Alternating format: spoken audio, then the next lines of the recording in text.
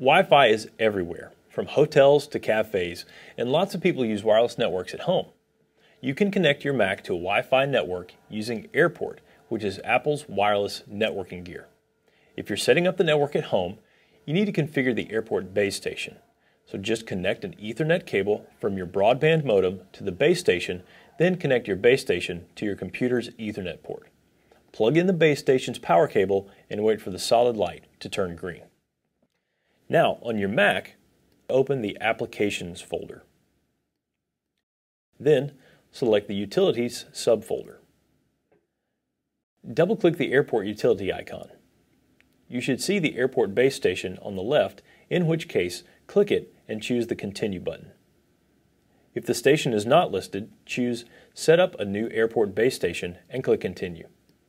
On the next screen, enter a password for the base station. Make sure you write this password down and keep this somewhere safe because you'll need it again if you want to change the base station settings. And click Continue. Now decide whether you want to create a new wireless network or connect the base station to an existing wireless network. In this case, we're creating a new network, so click the Continue button. If you're adding the base station to an existing network, make the wireless network name the same as for the rest of the network. Click Continue again, and choose a security format. WPA is your safest bet, but some older computers will only support WEP. Use the highest level of security supported by your equipment. And now, you guessed it, click Continue. Okay, you're getting close.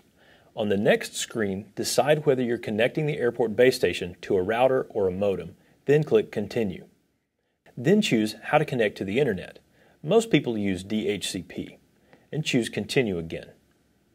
And finally, verify all the setup details and click the magic button to update. At this point, the base station restarts, and once it's done, you see a congratulations screen. The setup is complete when you choose Quit.